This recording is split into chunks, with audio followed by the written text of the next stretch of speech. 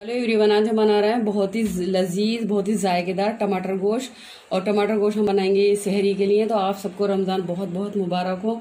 बहुत ही इतनी आसान और सिंपल रेसिपी आज हम आपको देने जा रहे हैं। फटाफट बन जाती है ये, और इसका टेस्ट तो बहुत ही ज़्यादा ज़बरदस्त होता है। तो हम इसको बनाना शुरू करते हैं। इसके लिए हमने ले लिया है ये एक किलो से ज़्यादा हमारा गोश्त होगा। तो ये हमने ले लिए हैं पाँच छः टमाटर। थोड़े कच्चे टमाटर लिए हैं और हमने थोड़े से पके हुए टमाटर लिए हैं। टमाटर का इसमें टमाटर गोश्त के अंदर पेस्ट बिल्कुल ना बनाए आप इस तरह से काट कर ही डालें। और ये हमने प्याज ले लिए, चार बड़ी, इनको काट लिया है। एक चम्मच लहसुन दर का पेस्ट दो चम्मच लहसुन दर का पेस्ट लिया है। ये कुछ हमने गर्म मसाले ले लिए हैं, ज़ीरा, काली मिर्चें, दालचीनी वगैरह। और ये हमने लिया है एक बड़ा चम्मच भर के धनिया का पाउडर। और नमक हमने टेस्ट के हिसाब से लिया है, मिर्ची ली है एक चम्मच।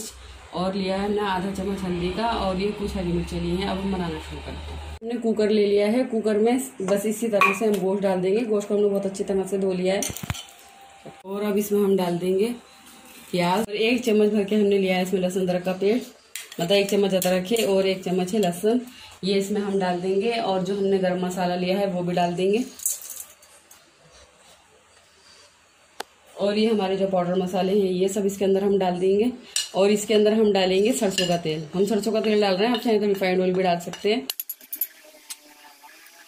अब तेल और ये सारी चीज़ें डाल के मसाले हम इसको अच्छी तरह से चला देंगे मिक्स कर देंगे।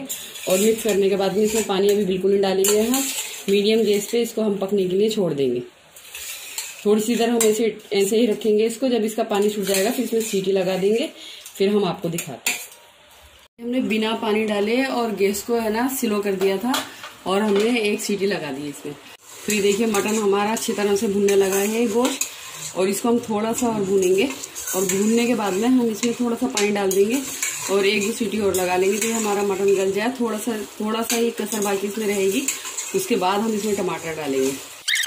बीज से बिल्कुल ना डालें, क्योंकि फिर वो टेस्ट आएगा नहीं इसके अंदर। तो ये देखिए, थोड़ा सा भून लेते हैं, फिर आपको दिखाते हैं। तो ये देखिए, मटन बहुत अच्छी तरह से भून गया है। बिल्कुल कच्चे मसालों की इसमें से बिल्कुल चले गई। तो ये एक गिलास मैंने इसके अंदर पानी डाल दिया है और बस इसमें अब मैं दो सीटियाँ और लगा दूँगी। क्योंकि मसाला वगैरह हमारा बहुत अच्छे से भुन गया है और टमाटर हम डाल के बस थोड़ा सा ही पकाएँगे इसको। तो अब मैं दो सीटी लगा दूँगी। ये देखिए कुकर हमने खोल लिया है और कुकर खोलने के बाद में ये देखिए, इस तरह से थोड़ा सा पानी इसके अंदर बचा है। तो हमें इसको बिल्कुल कुछ नहीं करना है।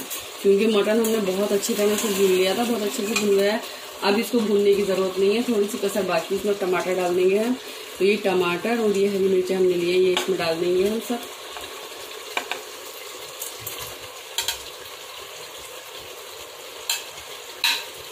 साथ में हरी मिर्ची भी डाल देंगे।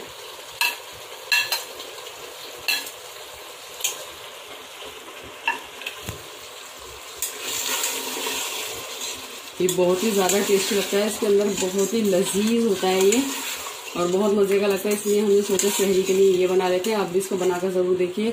और हम ऐसी ही आसान, बिल्कुल आसान तरीके से बन जाने वाली सिंपल रेसिपियाँ आपको बताएँगे। रमज़ान में जो खाने में भी टेस्टी लगे और बहुत जल्दी फटाफट बन जाए। तो ये कितनी जल्दी बन गया है और इसको मसाला भूनने की, वो प्याज को फ्राई करने की और ज़्यादा इसमें इस तरह से मेहनत करने की कोई ज़रूरत नहीं है। आप इसको इसी तरह चढ़ाएँ, इसमें इसी तरह चढ़ाने में टेस्ट आता है। कच्ची प्याज का बहुत अच्छा इसमें टेस्ट आता है तो इसको प्याज को फ्राई करने की ज़रूरत नहीं है आपको। तो ये देखिए टमाटर हमने इसमें डाल दिए हैं, पानी नहीं डालेंगे इसमें हम, और इसको 10 मिनट के लिए हम कुकर की सीटी भी नहीं लगाएँगे, ऐसे ही ढककर रख देंगे। फिर आपको दिखाते हैं और गैस को मीडियम कर देंगे। और इसमें डाल देंगे थोड़ा सा हरा धनिया। बच्चों को पसंद नहीं इसलिए मैं थोड़ा डाल दूँगा थोड़ा ज़्यादा हरा धनिया डाल दिया। तो ये हमारा बहुत ही ज़्यादा मज़ेदार, लजीज टमाटर गोश्त बनकर तैयार हो गया है। अब हमने गैस बंद कर दिया है और ये देखिए, टमाटर गोश्त हमारा कितना लजीज, टेस्टी, मज़ेदार बनकर तैयार हो गया तो इस तरह से आप टमाटर गोश्त आप बनाकर ज़रूर देखिए।